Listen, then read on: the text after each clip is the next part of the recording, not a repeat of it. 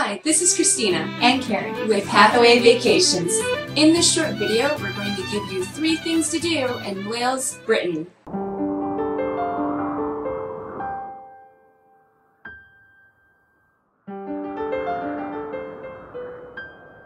Here we go. Tip number one, Cardiff Castle.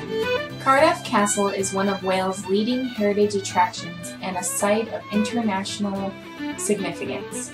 Located at the heart of the capital within beautiful parklands, the castle walls and fairy tale towers conceal 2,000 years of history. Tip number two, Conwy Castle. Conwy Castle is a medieval fortification in Conwy on the north coast of Wales. It was built by Edward I during his conquest of Wales between 1283 and 1289. Tip number three, Caernarfon Castle. Caernarfon is architecturally one of the most impressive of all the castles in Wales. Its defensive capabilities were not as overt or as powerful as those of Edward I's other castles, but Caernarfon was instead intended as a seat of power and as a symbol of English dominance over the subdued Welsh.